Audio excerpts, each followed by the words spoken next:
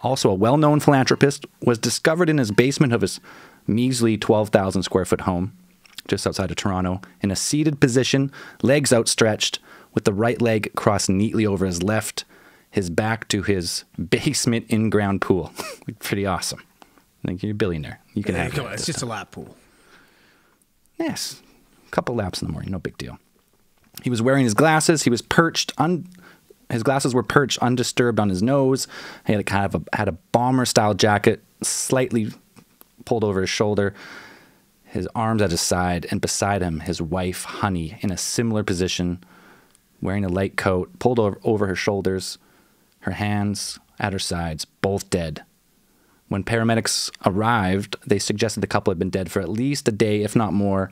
Rigor, lividity, and other signs of early decomposition were obvious. The crime scene is set. So the paramedics must have arrived, deduced that these bodies are at least a day, if not more. Yeah, and so like oddly enough too, um, they were actually found by the real estate agent. So I guess uh, Honey and uh, Barry had recently put their house up for sale, and this real estate agent tried contacting them for a couple days, saying, "Hey, you know what? We have we have some buyers in town. They really want to look at your house. Um, we want to do a showing." Got no answer.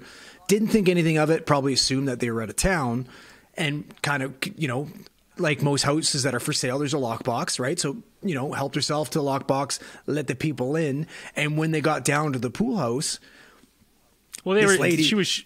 Yeah, she was showing them around. Like they looked at the upstairs, like everything was a okay. They go down the spiral staircase. She's like, "Oh, you got listen. You got to see the pool. The pool have is the it's the piece de la Basement in-ground pool. resistance of this house." She walks down the you know the spiral stairs in the back uh, corner, and there's an adjacent underground garage there. You come in, you can come in through that way, and then there's a hallway down to the pool. And she notices there's some papers and stuff kind of scattered around, and she's like, "Oh, that's kind of weird." As she's looking at them, they're like real estate papers that she that Barry was supposed to print off and sign and send to her and she's like oh okay that's kind of weird and there's some like a briefcase so she just kind of picked it up and like put it on the on the desk didn't think anything of it right she's Listen. like oh that's that's kind of weird we're going to get into it. This lady's a fucking pro. She Like, handled this- it She well. puts those selling sunset chicks to shame. Like, get, yeah, someone include this girl in a Oh, reality literally, show. like so, like Braden's saying, she cleans up this, these documents and keeps going with the showing. Gets to the pool, cracks the door, sees uh, Barry and, and Honey hanging from a you know a, from a railing in the pool. Quickly shuts the door and is like, "Hey, you know what? Uh, the owners of the home are actually doing yoga in there right now. They need privacy. I'll show you guys out. You guys have seen the bulk of the house, and these these the couple that are looking at the house from uh, wealthy people from mainland China are like super offended because she's like, "You need to get the fuck out of here." Like, showing's Yeah. over, anyways. You know, to like go. time to go. So she plays it super cool. Then, okay, so apparently this entire time the housekeeper is actually in the house. So she goes up to the housekeeper and is like, "Listen, you need to go downstairs right now and fucking check this shit out." So it's kind of fucked up that she forces this poor house cleaner to go down there and find the bodies. But one of the most bizarre things to me is immediately upon confirming that they were both deceased, obviously she calls 911, right? Of- That'd be the first. right. You would think the first thought: get the cops, get the paramedics, get the coroner down here. Let's go. She calls she Honey's sister. It's her sister. That's a strange one because, I mean, maybe they're friends. Maybe they knew each other, right? Maybe they were close. So it's, it maybe it's one of those things where it's like, it, it- you know, they're dead. You, you know, if you see that they're dead, they're dead. It.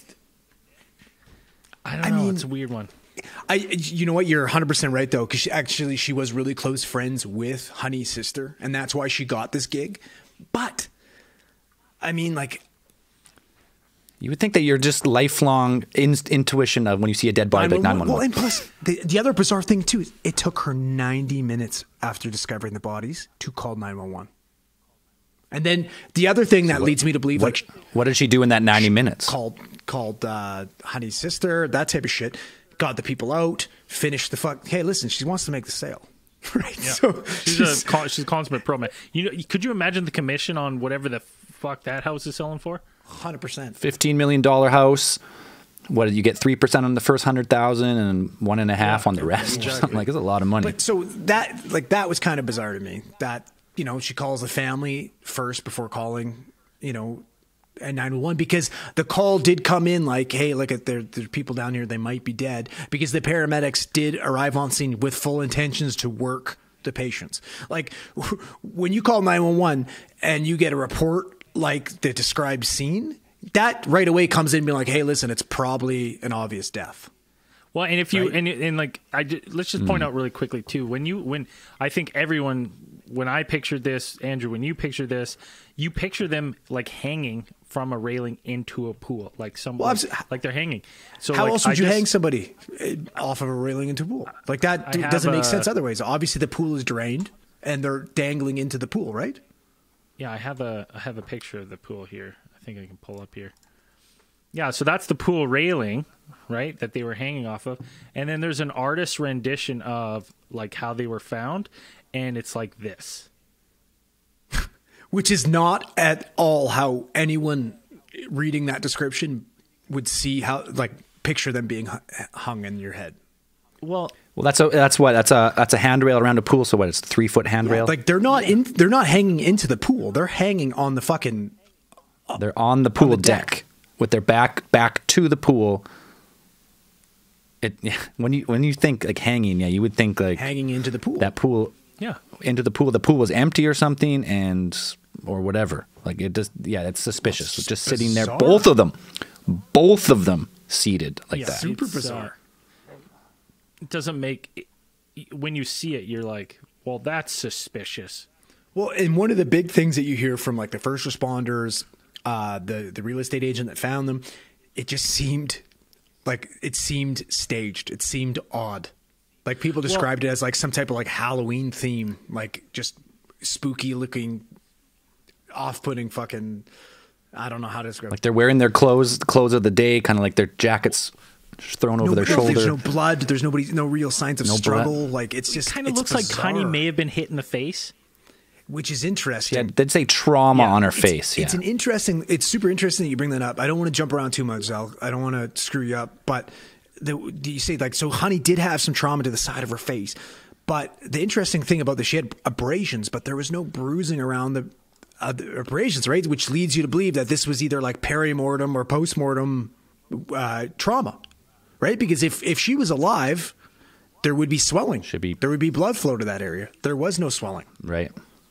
Yeah, your body naturally tries to get blood to that area if it gets hit or cut or. Well, and then So and then just to there from one of the things I read and and you know this may be wrong, but like it had looked like their jackets, like you know when you kind of you can like almost handcuff yourself by pulling off your jacket and then leaving it on.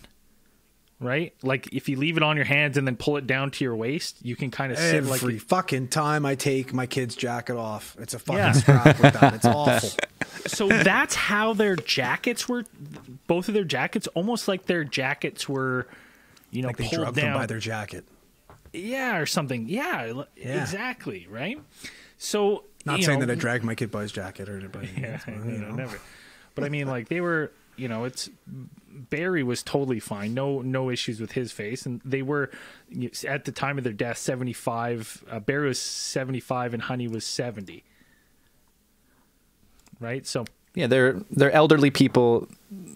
From all accounts, they are not super athletic. They didn't really keep themselves in good shape. I mean, but they And, must yeah, have been so- taking the most like premium grade generic pharmaceuticals to be Yeah. at the peak. They had premium grade, generic. Uh, they had Vicodin. They had all the good stuff. So, Yeah. uh, They had, they, PC they had a whole supply at their fingertips. they're good. Yeah. so where does that leave us out? Like, so we have the the paramedics arrived, called it on scene. They're both DOA, and then so let's Yep. like maybe let's get into the the Toronto Police Services investigation. Well, yeah. Originally, the deaths are treated as suspicious. Obviously, you would think by the Toronto Absolutely. Police Service Homicide Squad. What, three feet. so yeah, I'd say so. Yeah. Like, Both of them. Yeah, it's not like uh, two people seemingly hung by kneeling or sitting. Like suspicious, to say the least. Uh, so they originally said cause of both deaths were ligature neck compression, which I guess is just another term for strangulation. Yes, absolutely. And then something else to to add to that is super weird. Is both their higher Hey guys, thanks for watching. I know it's annoying to watch these broken up in 10 minute segments, but here's the next one over here. Or if you want to watch the whole thing uncut and after hours, just click this link to our website and uh, give us a donation. You get ac- full access to it on Patreon. Anyways, thanks guys. Enjoy the next video.